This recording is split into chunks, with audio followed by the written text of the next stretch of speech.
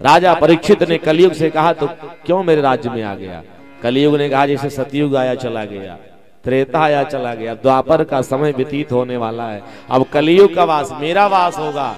राजा परीक्षित ने कहा मेरे राज्य में तुम्हारा प्रवेश ही नहीं होगा कलयुग। मैं तुझे प्रवेश ही नहीं करने दूँगा। कलयुग दीनहीन होकर के चरणों पर गिर पड़ा महाराज क्षमा करिए। मेरा प्रवेश आप क्यों नहीं? राज्य में होने देंगे। राजा परीक्षित ने कहा कलयुग तुम्हारे प्रवेश होने के बाद मेरे राज्य में ना चोरी डकैती बदमाशी अत्याचारी दुराचारी क्योंकि अधर्म के पद पर चले इसलिए हे कलयुग मैं तुझे अपने राज्य में प्रवेश ही नहीं करने दूँगा। कलयुग दीनहीन होकर के चरणों पर गिर पड़ा महाराज। आप मेरे अवगुण तो देख रहे हो लेकिन मेरे जीवन में बहुत बड़ा गुण है। गुण कौन सा है? कलयुग ने हाथ जोड़ करके राजा परीक्षित से कहना प्रारंभ किया, यत फलम? नास्ति तपसा। न योगेन समाधिनः। तत्फलम लभते सम्यक। कलौहिके सब कीर्तना। जो फल सतयुग में, द्वापर में, त्रेता में हज़ारों हज़ार वर्ष ध्यान धारणा समाधि लगा करके लोग प्राप्त करते थे ना। कलयुग में कहीं समाधि नहीं लगाना है। घर परिवार छोड़ के कहीं जंगल में जाकर के तप नहीं करना है। क्या करना पड़ेगा? केवल और केवल सजनों, भगवान का भजन करिए, भगवान के नाम का कीर्तन करिए हमारे आपके सबके जीवन का सारा फल वही मिलेगा जो सतयुग में लोग तपस्या करके प्राप्त करते थे। त्रेता में समाधि लगा के प्राप्त करते थे। द्वापर युग में ध्यान धारणा समाधि अष्टांग योग से जो फल प्राप्त किया जाता था वही फल कलयुग में केवल भगवान के भजन से मिल जाता है। बोले भक्तवत्सल भगवान की जय। मैं कहता हूँ कलयुग में हमारा आपका जो जन्म हुआ है यह है कि आपको घर परिवार छोड़ करके जंगल में जाकर के हज़ार वर्ष तक तप नहीं करना है। समाधि नहीं लगाना है। यम नियम, आसन, प्राणायाम, प्रत्याहार, अष्टांग योग की साधना नहीं करनी है। केवल घर में बैठे रहिए, अपने घर गृहस्थी के सारे काम करते रहिए और मन से भजा, भगवान का भजन करते रहिए। सब फल मिल जाएगा। आप आप बताओ, जब हम राम नाम नहीं जप सकते तो कलयुग में कहीं तपस्या करने को कहा गया होता। तो घर घर छोड़ के क्या जाके हम दस बीस वर्ष जंगल में तब कर पाते? सत्कर्म का फल कलयुग में मिलेगा।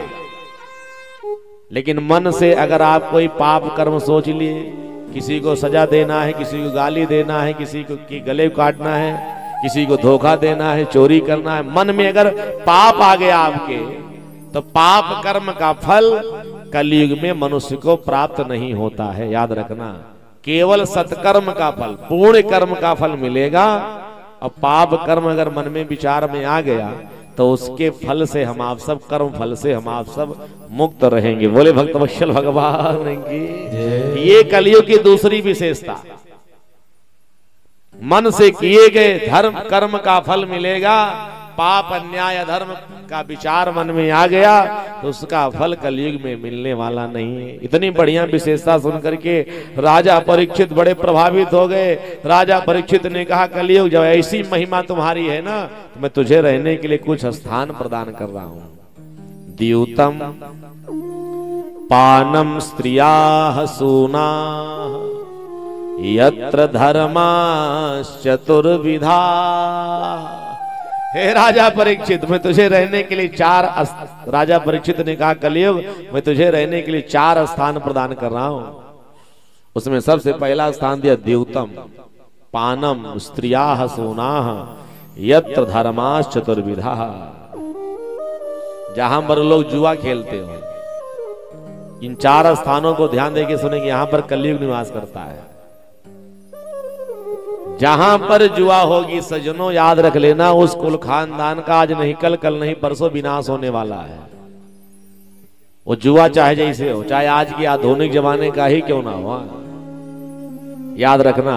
और सच बताएँ, अगर पाँच पांडव जुआ न खेले होते तो महाभारत जैसा युद्ध सजनों संसार सागर में न होता। बोली भक्तोशल भगवान की महाभारत युद्ध का द्योतक अगर कुछ है ना तो पाँचों पांडवों का जुआ खेलना। क्यों? क्योंकि हम सब कितनी बढ़िया व्यवस्था में, कितने शुद्ध विचार से जुआ खेलने लगे, लेकिन जब जैसे कुछ समय बीतेगा ना, बेईमानी आ जाएगी। और फिर उस जुए से परिवार का कभी कल्याण होने वाला नहीं है, इसलिए जहाँ पर जुआ खेला जाता है, जुआबाजी होती है, वहाँ पर कलियुग का वास होता है। द्योतम पानम उसके बाद जहाँ लोग मदिरा पान करते हैं। मदिरा का सेवन होता है, वहाँ कलयुग का निवास होता है। इसलिए मदिरा पान से वंचित रहिए, मदिरा का त्याग करिए। जिस कुल खानदान में मदिरा का प्रवेश हो गया ना, पत्नी बेचारी अलग भी लगती है हाँ। बेटे अलग रोते हैं, समाज में कहीं जा करके सर उठा करके जी नहीं सकते।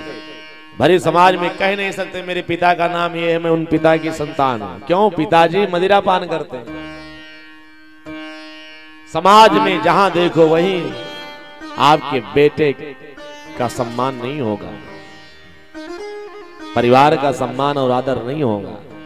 तो देवतम पानम स्त्रिया सोना। और जहाँ पर वैश्यावृत्ति होती याद रखना वैश्यावृत्ति के स्थान पर सदैव कलयुग वास करता है इसलिए वैश्यावृत्ति से हमको आपको सबको दूर रहना चाहिए। और जहाँ पर हिंसा होती, लोग मांस आदि भक्षण करते हैं। जिस परिवार में मांस का भक्षण होता है, अंडे पंडे खाए जाते हैं, याद रख लेना, उस परिवार में कभी भगवान का नहीं, कलियुग का वास होता है। सदैव इससे हमको आपको विमुख रहना चाहिए। लेकिन आजकल के लोग, अरे महाराज, क्या किया जाए? हमने कहा, क्या हुआ? पूरा परिवार शुद्ध शाकाहारी है। लेकिन मेरा जो छोटा बेटा है ना एक बार लेके डाके हमारे जीवन को, परिवार को भ्रष्ट किया जा रहा है। हम उस देश के वासी हैं, भारत वर्ष के निवासी हैं, जहाँ पर आज के लगभग दो चार, छह सौ वर्ष पहले पूरा भारत वर्ष शुद्ध शाकाहारी जीवन जीता था। और अन्य देशों में मांसाहार भक्षण किया जाता था।